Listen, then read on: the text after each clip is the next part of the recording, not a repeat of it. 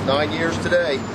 Yes, this is Mark Smith. We're in West Chester, Pennsylvania, and this is obviously 9/11, September 11th. Do you have any um, anything you want to say about this? Yeah, it's um, it's nine years since this happened, and we still don't know the whole truth.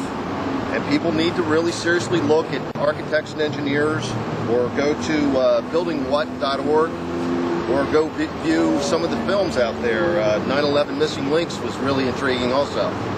Uh, there's a lot out there. There's some there's some misinformation out there that gets people to say, "Oh, it's just crazy." But uh, when you look seriously at it, the evidence is there. We got problems.